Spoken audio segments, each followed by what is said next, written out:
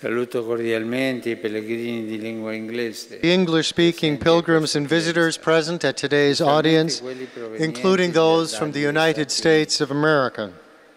May you open your lives to the Lord's gifts of mercy and share this gift with all those whom you love. May you be children of the good Father, missionaries of his merciful love. May God bless you all. Dio benedica tutti.